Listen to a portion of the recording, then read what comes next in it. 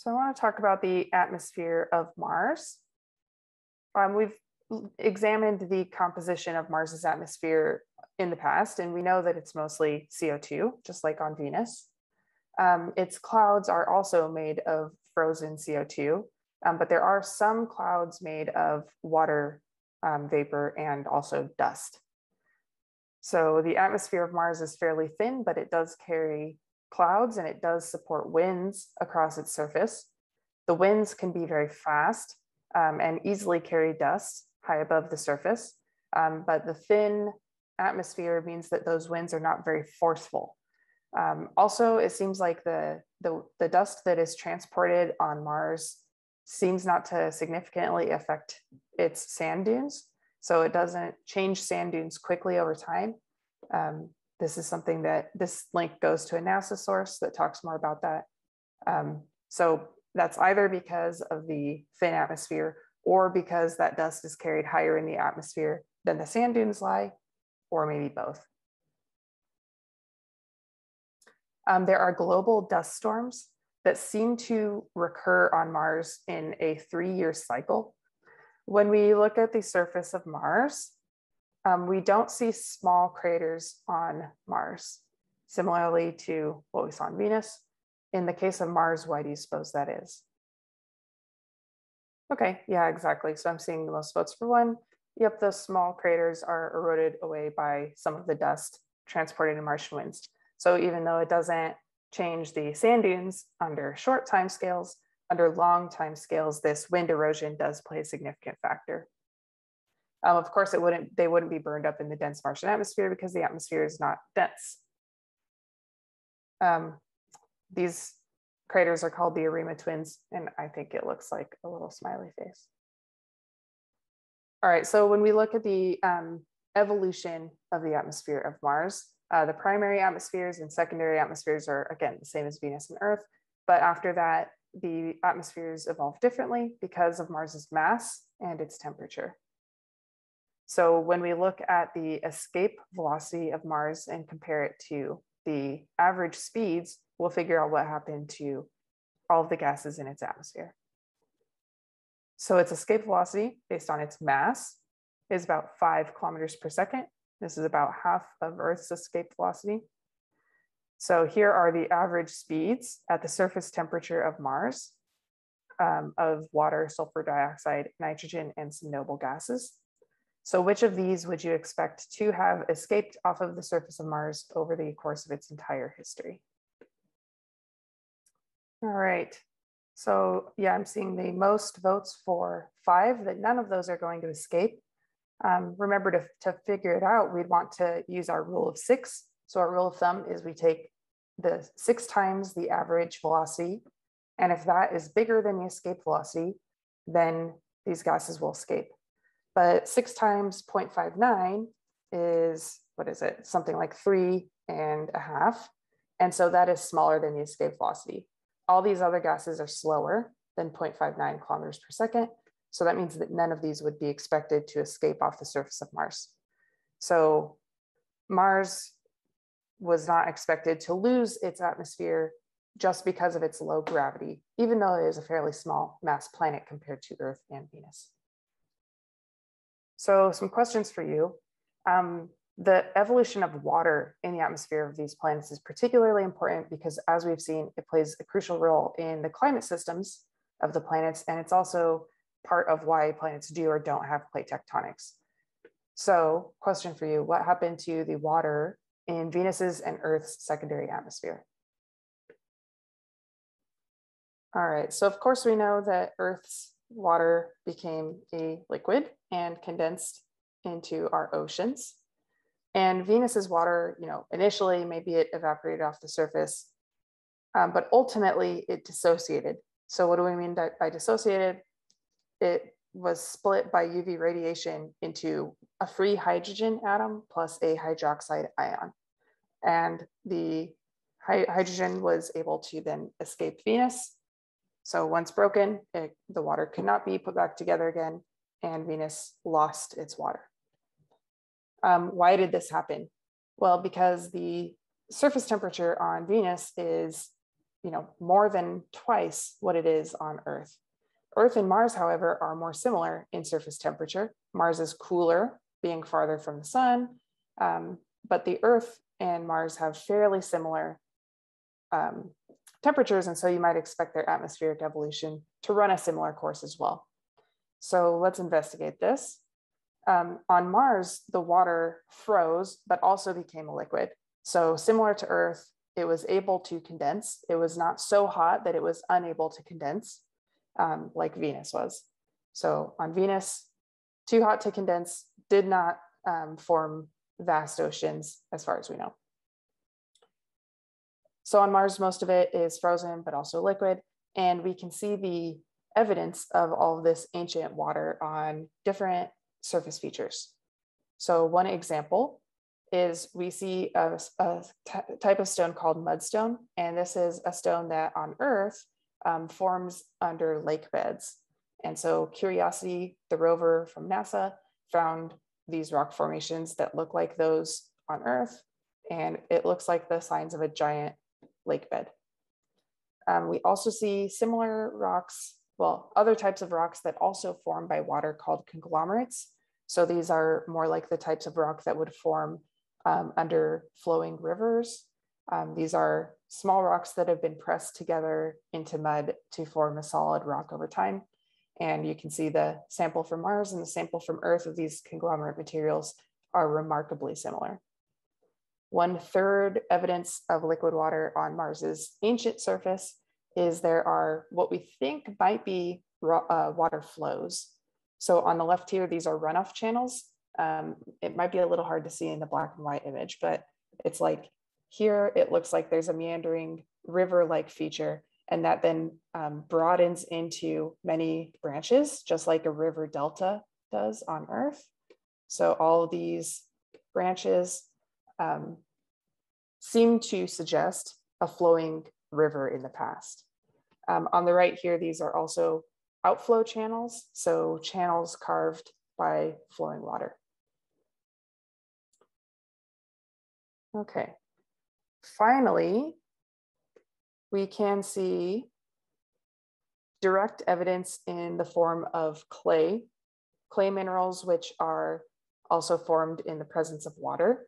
Um, and there are some water erosion patterns that are being investigated by NASA's Perseverance rover in the Jezero crater. Um, this image on the left is an artist rendering, to be very clear, um, but the Jezero crater might have once been filled with water uh, and then basically burst open the side, so eroded um, and had outflow channels leading out of the crater and then eroding the surrounding region. So because this is a potentially water formed feature, that's why the Perseverance rover wants to investigate it. There are other similar regions that Perseverance could have landed in, um, but didn't. Um, Curiosity was almost going to land in this crater called the Miyamoto crater. As you can see, it looks like half of the entire crater's surface has been eroded, um, but it's possible that it's also experienced a lava flow since that time. So it's unclear the provenance of some of these features, and um, that's exactly why NASA likes to send rovers to try to, uh, um, I guess, unravel the history of some of these areas. Um, questions about some of this evidence of ancient liquid water on Mars's surface?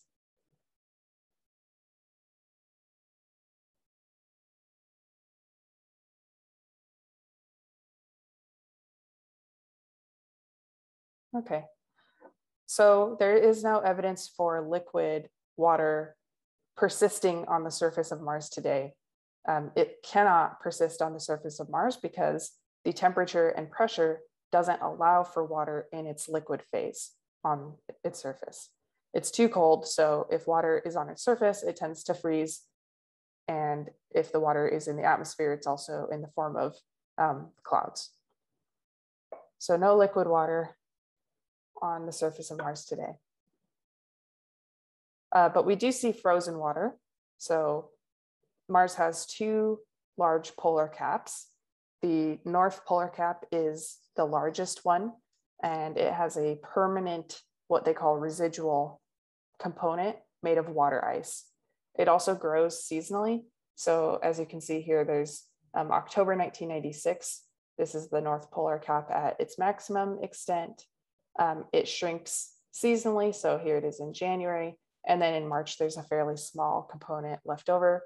This is exactly what our polar ice caps do as well. They shrink and grow seasonally as precipitation from snow adds to them. It's a little bit different on Mars. Um, the water freezes out of the atmosphere directly going from the gaseous phase to the solid phase. Um, and CO2 ice also grows in the same way, going from gaseous phase to solid phase, and then from solid to gas. So the these processes are called sublimation. That's when it goes from solid to gas, and deposition from gas to solid. Um, so sublimation, if you've ever had a chunk of dry ice, you've seen it before. The dry ice just goes from solid to gas and it never melts into a liquid.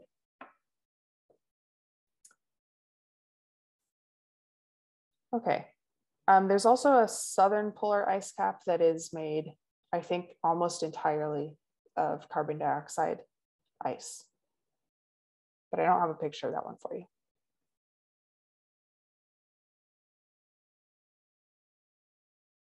All right, other evidence of frozen water on Mars's surface is, um, well, it's, it's in the soil. So um, we have dug with the, I think this was the Curiosity rover, um, and found a white substance underneath the surface. And the, um, the speed at which dry ice, carbon dioxide ice sublimates versus how fast water ice sublimates can tell you which one it is. And so by watching how this sublimated over time, um, they were able to figure out that this was water ice, not dry ice. All right, so even though there's not standing liquid water on the surface, there's some evidence that liquid water may emerge as part of seasonal changes. Um, this evidence is not incontrovertible, but this is the wall of the um, Garni crater where there are um, seasonal changes that appear to create water channels, these dark regions. Um, it's not totally known whether this is liquid water that is melting under the surface and then causing a flow. It might also be CO2 that is sublimating and triggering a landslide. So either of those are possible.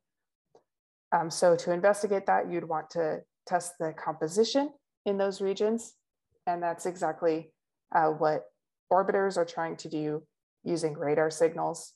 Um, I don't know that they've nailed down in the Garni crater whether there's evidence of water in that area, but we do see evidence of underground liquid water in various regions under the South Pole of Mars. So liquid water cannot exist on the surface, but subsurface, it is possible. Um, what questions do you have about the evidence for liquid and ice on Mars?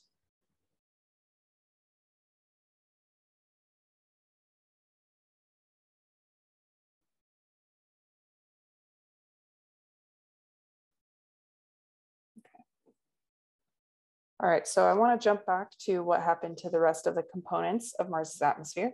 So we've seen that the water um, both condensed into a liquid and then ultimately now it's frozen on the surface of Mars. Um, the carbon dioxide, it didn't escape, right? Because none of those gases that I showed you were going to escape. So the carbon dioxide survived and became the main component of the atmosphere since the water was frozen out. Um, the sulfur dioxide there's more of an interesting story. So remember back to Venus and Earth, what happened to the sulfur dioxide in those planets? All right, I see most votes for one, which is exactly right. So on Venus, that sulfur dioxide combined with water to form sulfuric acid, and that is what comprises most of Venus's clouds on Earth, that sulfur dioxide absorbed into its oceans. So on Mars, the sulfur dioxide also combines with water to form acid rain. And we can see the evidence for this in the composition of the rocks under Mars's surface. So because acid rain would have fallen on the surface of Mars, it causes the surface to be more acidic than deeper regions of the soil. And so for that region, for that reason, sorry, the crust of Mars is kind of layered with um, materials formed in the uh, presence of acid farther up, and then um, less acid rich, more basic minerals uh, farther beneath the surface.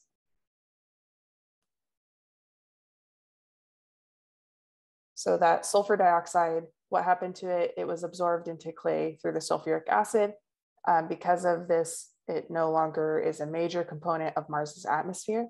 And so it's basically trace. Okay. Um, the acid rain happens on Venus too. So it has those sulfuric acid clouds. Those do rain, um, but the, those raindrops evaporate before they reach the ground. So for that reason, the sulfur dioxide doesn't have a pathway out of Venus's atmosphere. And so it stays in Venus's atmosphere over time. All right, the nitrogen on Mars, it doesn't really react chemically with other things like the sulfur dioxide, CO2, or water would. So it just survived, it did not escape, doesn't react, therefore it just sticks around. And the noble gases, same story. They don't react chemically with other things, so they persisted. So then looking at the current atmosphere of Mars, of course, mostly CO2, which we already knew, um, but now you know what happened to the water and what happened to the sulfur dioxide.